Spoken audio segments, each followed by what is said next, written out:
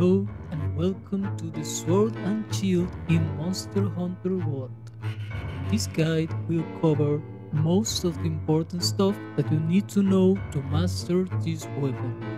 If you're new to SNS, stay tuned and we will begin with the basic combos and other useful information. For players with some experience using it, we will also cover some advanced moves and mechanics. So hopefully you can still learn a new thing or two. I will add timestamps in the description if you want to skip or are only interested in a particular topic. First, let's do a quick recap of the evolution of SNS. In base world, essentially we have two different styles the pure slash style that focused only on sword ground combos, and the other style was the aerial shield patch. Now, in Iceborne, we got an incredible new combo, the Perfect Rush. In the first couple of months after the expansion was released, it was for the most part a neglected combo, but after the Stygian Zinogre patch, it received a huge damage boost and now is basically the top tier move for SNS.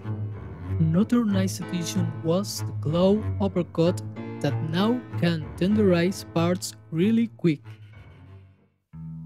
With the SNS, sword attacks can deal elemental and status damage, but the shield does not and there are some moves and good combos that use the shield as an offensive tool. These moves will barely benefit from your elemental damage, so you will probably want more raw in some cases. Actually, you will want more raw in most cases. It all depends in what playstyle you're going to focus on. For a pure sword slash style, Hike element along with Silver Rathalos Mastery, aka True Critical Element, can give you nice results with monsters with really high elemental weakness. For example, Yian Garuga, Tigrex, Nargacuga or Deviljho. But some late monsters are not particularly weak to element.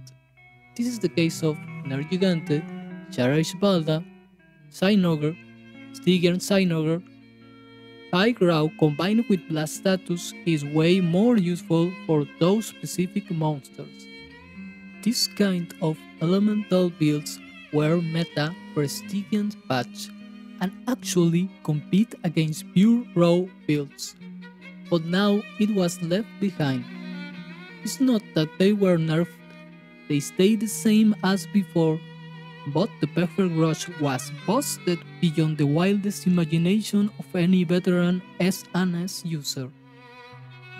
There is another new variant of this elemental build with 3 Safi'jiiva armor pieces and 2 pieces of Velkhana, but the difference is barely noticeable and both builds fall behind any set that optimizes the perfect rush. If your playstyle is going to focus exclusively on the falling bash or the perfect rush. Raw damage is the way to go, even if you use an elemental SNS. And in a lot of cases, you should use all of them if you want the most optimal DPS. The skills you want to get are the ones that give you more physical attack like attack boost, agitator, peak performance, or resentment. The last one only if you're using the Safi'jiiva Mastery with that specific armor set. Now, let's move on to the basic moves and mechanics. How to unseat the weapon. If you stay still and press triangle, your character will unseat the sword.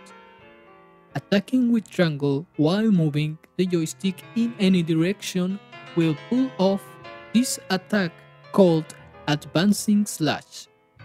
It's a good cap closing combo starter. When your weapon is already out, you can perform the same move by pressing triangle and circle at the same time. Stay still and press R2 to unseat with your shield up. Use this if you think you are not going to be able to dodge an incoming monster attack. Press R2 and triangle at the same time to execute a quick attack that keeps you in place. It's called Rising Slash. After that, you can continue your combos. Press R2 and circle to do an horizontal slash. This move is bad and doesn't let you chain it into a combo. My advice is, learn this mechanic first and then try to avoid it all the time. I would like to talk now about the shield as an offensive and defensive tool. You have a shield which is good to put up in emergencies and will mitigate a lot of your damage, but you are not a tank. Strong hits can deplete a lot of your stamina and multi-hit incoming attacks can interrupt your movement more than a couple of seconds. I recommend working on being more mobile and evasive than a blocker. Be aware, in order to block some special moves, you will need the shield jewel for the guard up skill. Some of the moves that require this skill are Teostra Supernova, Velkhana's Ice Breath, Kirin Straight Heavy Lightning Bolt, Xeno'jiiva Horizontal Laser Beam, Kulve Taroth Fire Breath, and Shara Ishvalda Unarmored Form Wind Attacks. Now, I would like to talk about the shield as an offensive tool. While the sword applies slashing damage and therefore can cut tails, the shield does blunt damage. The two strongest raw combos, the Falling Bash and the Perfect Rush, make use of both, but the former relies too much on the blunt damage. That's why you need to know the most optimal hit zones of all the monsters to get the best results. For example, let's look at Safi'jiiva hit zones. The four legs take create slash damage, while the hind legs are weak to blunt damage. Take a look at my hunter hitting Safi's hind legs with a perfect rush. Can you see the gray and orange numbers? The grey ones are slash damage, and the orange numbers are blunt damage. With moves like the Falling Bash, this is really important because the two strongest hits are with the shield and usually you want to go for the head. Except with some exceptions like Behemoth Hindlegs or the already mentioned Safi'jiiva Hindlegs. I will cover later in more depth all the SNS moves I keep mentioning here. Another advantage of shield attacks is that they never bounce or lose sharpness. You can hit the training pole with directional circle for days and keep your maximum sharpness. To perform it, simply press circle with the left joystick pointing at any direction. This combo is really bad for DPS. Never spam it. I recommend doing it only when you want to proc a KO. I'm just showing it as an example. More into the possibilities of KO and mounting with SNS later. On a side note, all chill attacks also deal exhaust damage, but don't bother building for stamina thief it's a passive skill with barely any benefit and completely useless against Elder Dragons. With SNS, you can also use items with your weapon drawn. This is achieved by holding guard R2 plus square, which will use whichever item you currently have selected on the item bar. In my experience, this is more useful to put down traps, bombs, or to equip very quickly your slinger bots.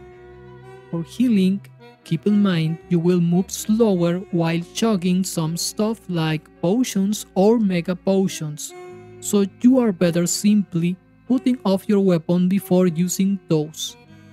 In the older games, the animation of consumable items was the same for everything, therefore was a bit more useful than SNS World's version. Now, let's cover the use of slinger ammo. Like all the weapons in the game, you can aim your slinger ammo with L2 and then shoot with R2. It doesn't matter if your weapon is round or not but the SNS have two different kinds of slinger shots, the regular one and the slinger burst. You can switch between them using the R3 button while aiming. That will be pressing the right joystick of the controller. The slinger burst also can make some monsters flinch. Use these tools to control the fight or help your allies. Let's cover some of the basic sword attacks. You can use the triangle and circle buttons. You can view them as light and strong attacks, but in comparison to other weapons, both are really fast. If you press triangle non-stop, you will reach a moment where the combo ends. After that, you can change the triangle combo with 3 more attacks with circle. Pressing triangle and circle at the same time mid-combo will instantly make you perform the round slash. The same move you can do at the end of the circle combo chain. It's the strongest sword attack, but also the slowest one. That's why we can see it as a finisher combo move. Spamming only the triangle button is not optimal. The sword combos can be summarized in the minigame called Avoid that clunky elbow strike with the shield. That will be the third hit of the triangle combo, because it's slow, interrupts your combo flow, and the damage is just bad. Most of the swordplay circles around the idea of avoiding this move and pull off different kinds of infinite combos. We will cover all of them in the last part of the video, but the basic notion is that after any action with your sword, you can turn around using the spiral slash by moving a little bit the position your character is facing using the left joystick and that will reset your sword combo, something that you can repeat over and over again. You don't even need to make a huge 180 turn, a small tilt to one of your sides will work. In other words, SNS can pull off infinite combos. Practice and take this as a starting point. Dominate the spiral slash to turn and reset your combo and get used to the basic attacks before jumping into more specific movements that we will cover here.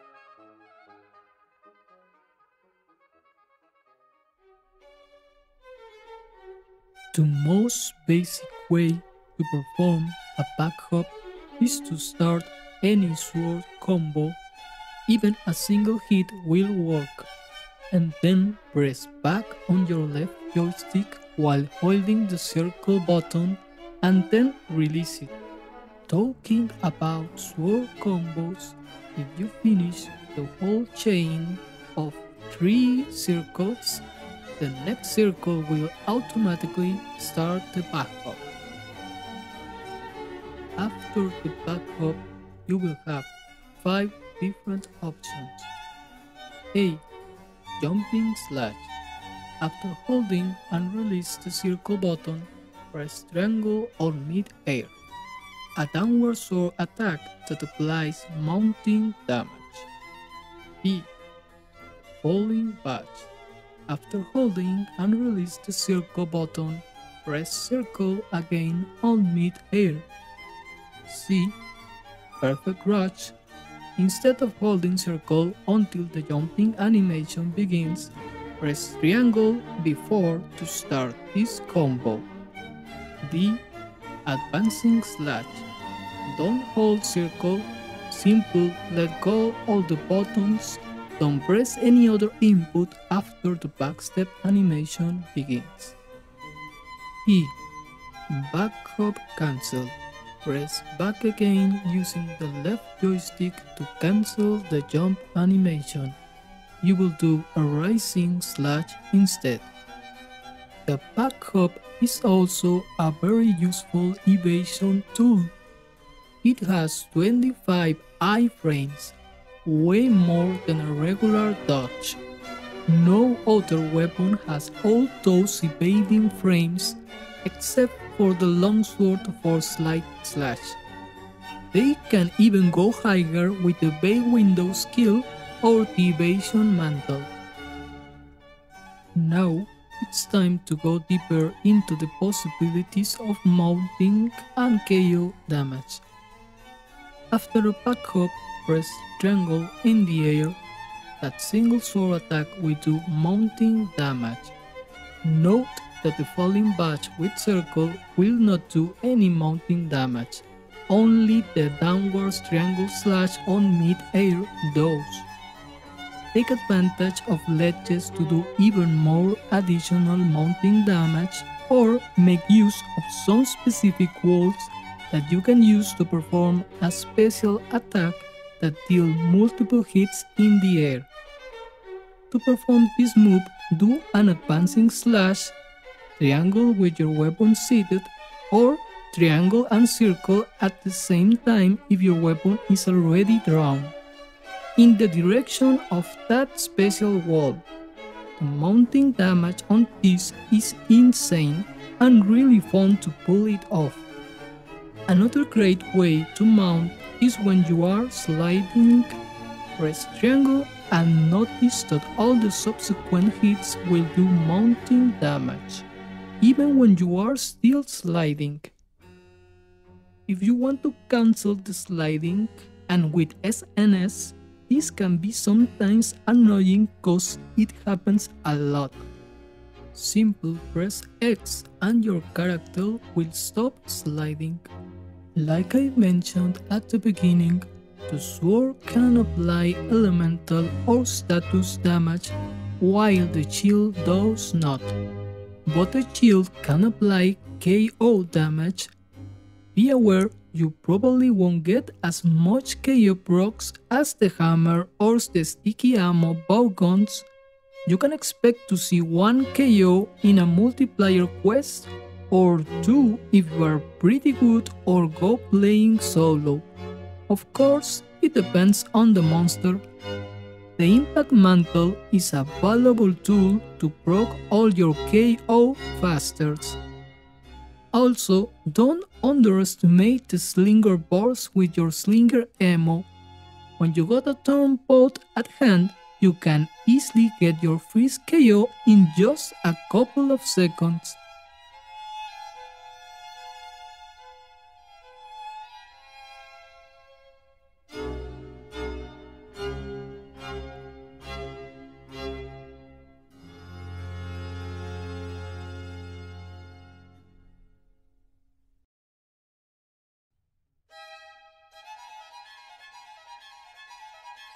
The falling bash is one of the easiest moves to execute in the whole game.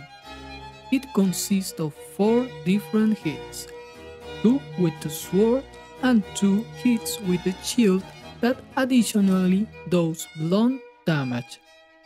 To perform it, first do a back hop and then press circle again in the air. The real difficulty of this move lies on precision, terrain difficulties, and the problems to actually connect all the 4 hits when a monster part is flying really high above the ground, like wings and some monster heads. Like we mentioned before, the falling bash benefits more from raw, so build this style taking that into account. This is a great move when the monster has fallen to the ground or is immobile. You can spam it over and over pressing the same button sequence. Back holding circle with another circle on the air. It can also combo very nicely with the perfect rush. According to the hunter's notes, in order to perform the perfect rush, you need to aim with your slinger, do a slinger burst with R2 and next press triangle to start the combo. After this, simply spamming the triangle button will do the whole move, but timing is important to get the best damage. After the back hop, you only really need 3 inputs. You will receive a visual and sound cue when it's time to press triangle again. Simply watch for the position of your left and right elbows and you will get it right after a couple of tries and some practice.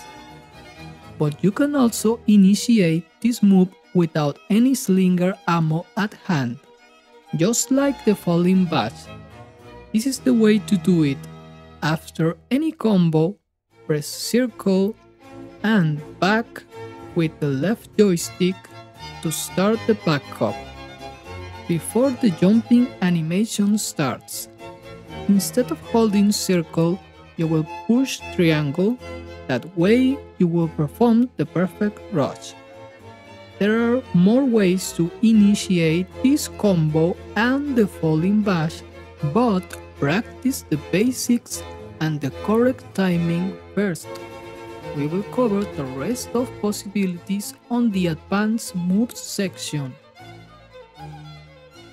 I already talked about how powerful is this move after the Stygian patch. Right now, it outperforms everything else the SNS is capable to do. So if you see a big opening or the monster is down, go for the perfect rush. It's not only the best SNS combo in terms of damage, but one of the highest DPS melee combos in the whole game. I will not cover builds in depth here cause that's a subject that will extend the length of this document a lot.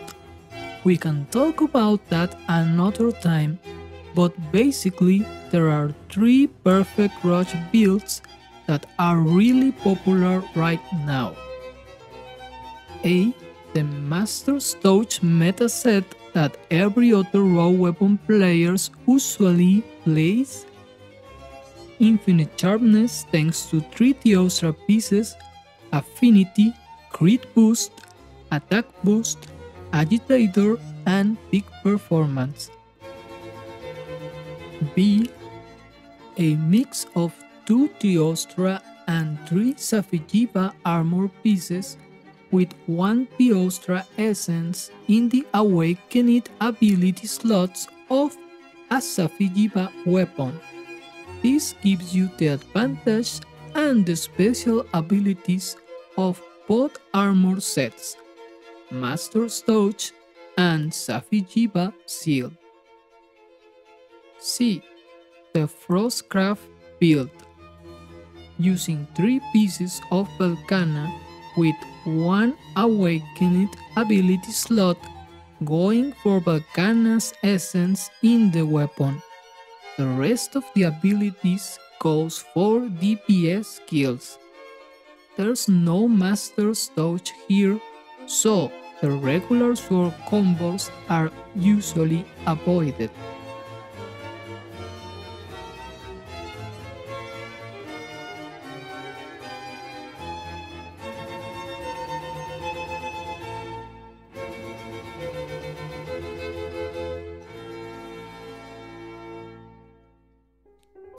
Execute the claw uppercut, simply roll in the direction you want with X and then press L2 Before the latest patches, it was pretty much useless, but now it can tenderize parts really quick. If you or another player with a light weapon already tried to tenderize with a regular attack with the claw, you only need the very first animation, the claw grab, and you can let go cause the work is already done. With a special monster like Safi'jiiva, you can even tenderize two parts at once. First, grab one of Safi legs using the claw uppercut. Now move to another leg using the left joystick. Press triangle to attack and as you can see, both legs will be tenderized. The startup of this movement got super armor and earplugs. It's like a rocksteady effect. It only lasts for a second, but you can use it to dodge monster rolls.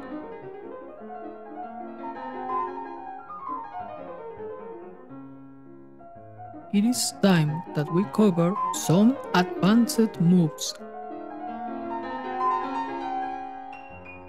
How to initiate the back hop without any additional attacks. There's a very useful combination of buttons that allows you to perform a back hop without the need of any additional attack. Press the R2 button quickly and a small fraction of a second later press circle with the joystick facing to the back of your character. The timing is a bit tricky at first, but you will get the hang of it. Another easy way to back up is to simply dodge and then press circle.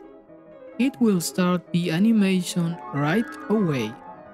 This is also a good way to cancel the perfect rush in the middle of the combo and start it all over again for more damage without the need to reposition yourself. This dodge circle mechanic also works for the falling bash, so you can use it anytime you need for two of the best raw damage combos. Dodge and then back hop in the opposite direction or any direction you want. This is a tricky one to achieve it. Simply roll and just a little bit before the rolling animation ends, use the circle button with the left joystick in the direction you want. Probably you are not going to use this mechanic a lot but it can come handy once in a while. How to roll and unseat the weapon at the same time. This is achieved by pressing R2 very quick and a small fraction of a second later press the X button to roll. What happens is you are pressing the guard button but at the same time cancelling with a dodge. This is very useful to execute the claw uppercut without the need to stop your character or perform an attack beforehand. You will need three inputs to achieve this. R2 plus X plus L2. You are not restricted only to the claw uppercut. After you execute this roll on seat mechanic, you can do all kinds of different attacks. Sword combos, falling bash, perfect rush, there are a lot of possibilities. Now, let's cover the rest of the sword combos. I'm putting this in the advanced section because this style of playing will require some practice to get the hang of it. In comparison the Falling Bash and the perfect rush are really simple. If I already told you that the perfect rush is superior to everything, why would you bother with the sword? Well, when a monster is flying over and over or just jumping all over the place, the falling bash can be useless and the perfect rush is slow to pull off. In contrast, the sword combos are fast. You can stop anytime and reposition yourself almost immediately. The sword style is neat, complex, and really fun to use. Let's suppose a monster like Behemoth comes to master rank, or that same devilish looking dog eventually appears again. You wanna solo it? Then you better learn to use the sword properly, cause 70% or more of the damage will come from the sword combos. For most monsters in Iceborne, these combos will serve you at least as in-between damage for when you actually have the chance to pull off the strongest ones. There are a lot of combinations you can pull off with sword combos, and the damage between all of them is not separated by a huge gap.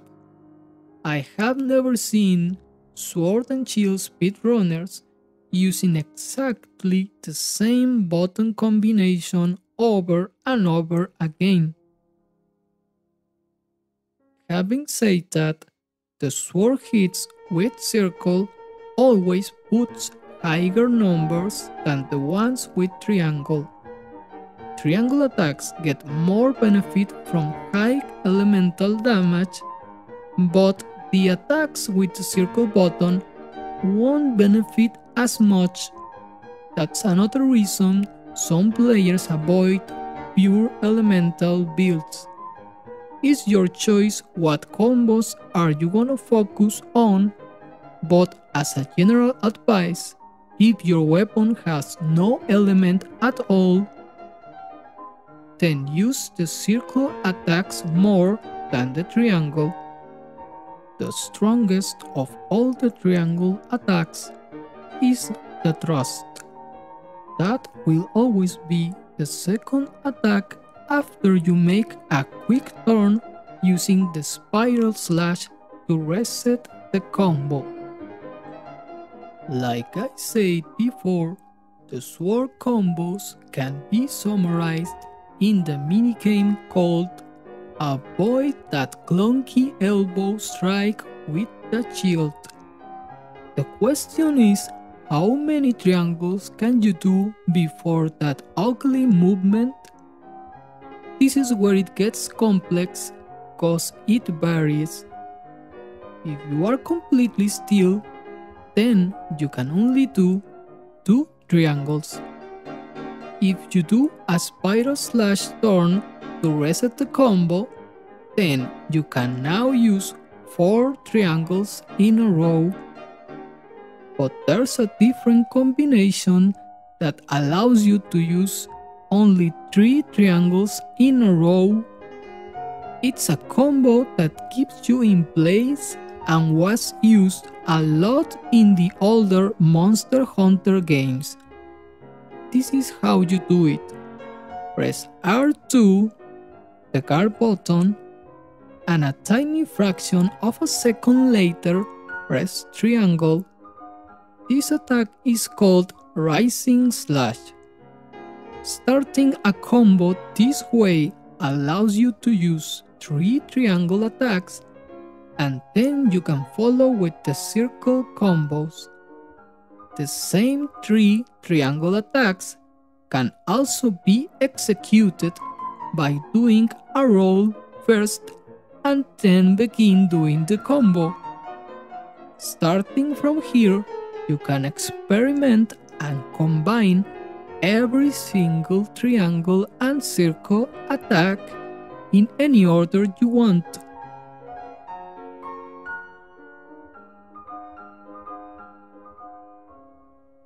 Content creators Jin Jinx and Tuna, in collaboration with Maestro Nox, worked together on a video tutorial about SNS, along with the help of other members of the Monster Hunter community and coined fancy names to some of the most used sword combos the round slash combo, the waltz combo, and the legacy combo. The round slash combo is performed using triangle triangle, circle circle circle, spiral slash to left or right to reset and repeat the sequence. The last circle can be spared sometimes or be used as a finisher. This combo works best for high raw SNS. The waltz combo is performed using triangle, triangle, and spiral slash to left or right, and then 4 triangles and repeat the last chain. From here, you simply repeat those 4 triangles and reset with spiral slash. This combo works better for high elemental S and S. And finally, the legacy combo is executed using triangle, triangle with circle, circle and spiral slash to left or right and then you do 4 triangles followed by circle, circle, spiral slash to left or right and repeat the last chain. This combo is basically using all the different hits that the sword alone can pull off. Mostly use it when you don't want to reposition at all.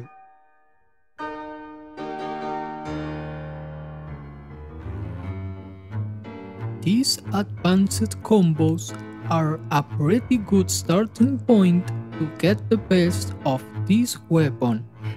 Sometimes you took all for one combo and half from another. It all depends of the situation and positioning Remember to take advantage of the advancing slash to close the gap between you and the monster.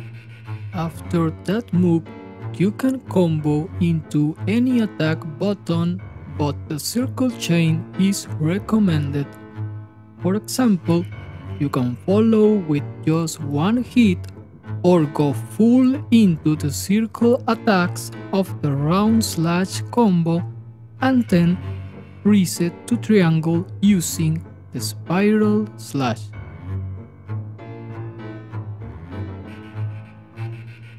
Thanks for watching. I really hope some players can find this guide a bit useful for their own hunting quest and countless farming hours.